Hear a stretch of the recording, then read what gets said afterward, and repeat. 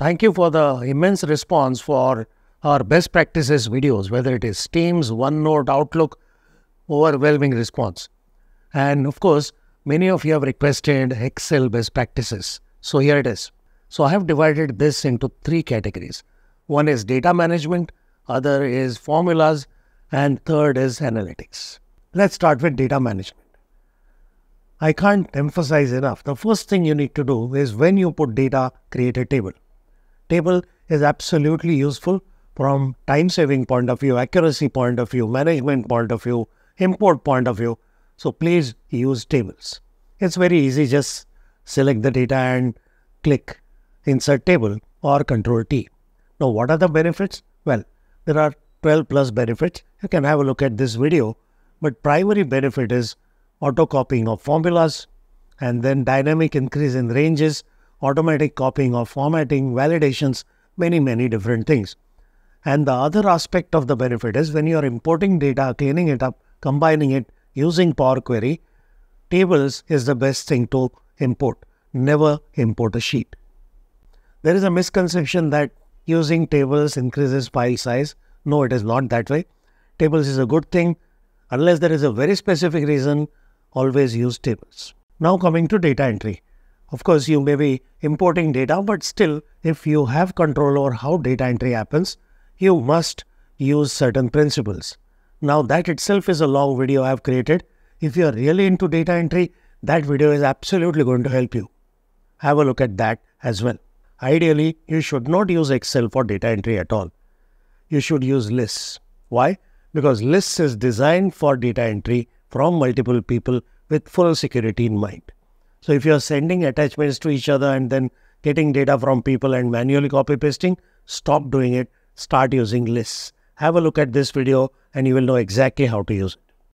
But few things which are important is whether you are importing data or entering data, the kind of data format you have matters. When I say format, I don't mean bold, italic or yellow, red.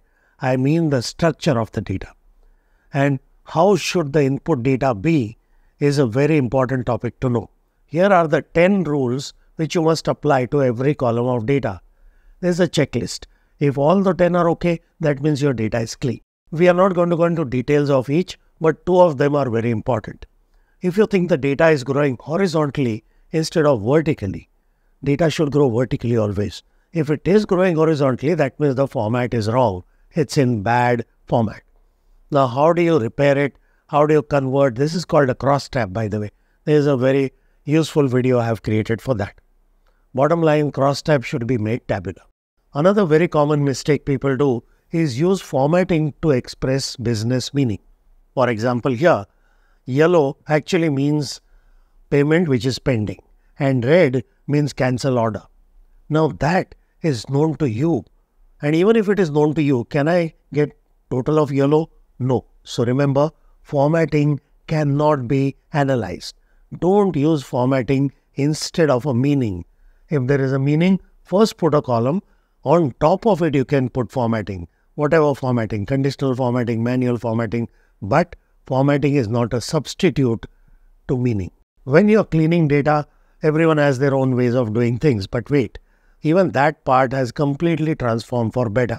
For cleaning data, try two approaches. If the data needs to be cleaned in a pattern like this, for example, here, I have data in one cell, but I want to split it into three columns. Of course, you can try text to columns, but also try flash fill. Flash fill is a very intelligent algorithm which allows you to specify what you want and then it will convert it automatically. No formulas are required. For example, here I have some spaces in these rows. Now spaces before and after, yes, I can remove using trim. I know, you know. But between spaces, spaces within the text, you can't. So what am I doing? I'm just giving an example, one example, then flash fill. Control E is the shortcut. Now if flash fill doesn't work, no problem. Normally what do we do? Either use formulas or you use uh, macros or some third party utilities, all that is outdated. The best way to clean data in a structured, smart, fast, and accurate manner is to use Power Query. If you have never used Power Query, no problem. Stop doing whatever you're doing and learn Power Query. Whatever time you're currently spending on, on cleanup will be completely eliminated and you will get better quality results faster. Now, how do you use Power Query? Go to data, get data, look at the sources, import some data, understand how to do cleanup. Now, I'm going to give you one example of how Power Query can help. So here I have some data, which is cross tab. I want to convert it into a tabular. Of course, I don't want to do select and then transpose, select and then transpose row by row. That's inefficient. So this is how I use Power Query. Power Query does not touch the original data. So I'm going to close this file, create a blank new file. Now I will go to get data, choose the file, choose the table, and this is the button, transform. Transform means clean. When you say that, it opens Power Query window. Now what am I trying to do here? The first column is good. The rest of the column need to be bulk transposed. So I select the good column, the first column, right click there and say unpivot other columns. And that's it. In few clicks, you have actually bulk transposed. You give proper names to those two extra columns and you're done. Now you say close and load to. And that's the next important thing you need to understand. Close and load to allows you to decide where to import data. This is a very common problem, large, slow Excel files. And why does that happen? Because files contain data in the Excel sheet. Excel was never designed to be a database handling large data. That's why Excel already has a database inside it, and that's called data model. So when I say close and load to, it's giving me two options. Do you want it as a table? That means it's Excel sheet or data model. That means it's going into the database. The database is built in. When you save the file, it is still XLSX file. Nothing to worry. And you can create pivot tables from that data model. Now in this case, I'm just going to import it in the table. Now I got cross tab converted to tabular. This one example of Power Query. Power Query is capable of doing hundreds of powerful operations to clean up your data. I have given you links to videos related to Power Query. For example, combining files in a folder, combining multiple sheets into one sheet, combining multiple Excel files into one file. Whatever you can think of, Power Query will do it for you. So bottom line, learn Power Query and transform your life. So all this is good. Now the next thing you need to understand is sometimes we get similar data in multiple pieces. For example, every month I get data. So Jan data is there, I create a report. Then I get Feb data, I create a report. When there are pieces of similar data, you should combine them together in one massive raw data repository. So even if your reporting is required to be monthly, you combine Jan with Feb with March and keep going.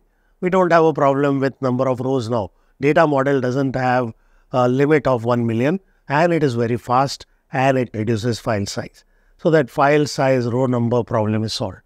The important thing is you get data from multiple months, multiple regions, multiple products. Don't keep it separate because sooner or later you have to do consolidated analysis.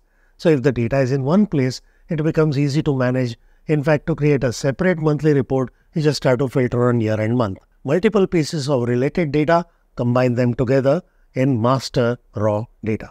And the last thing I want to talk about is common files, common data. For example, I have list of products, I have list of branches, I have list of dealers, distributors, something like that.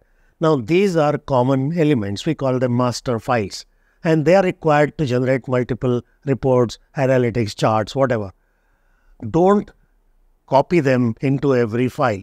So for every month, you don't copy the original list of products.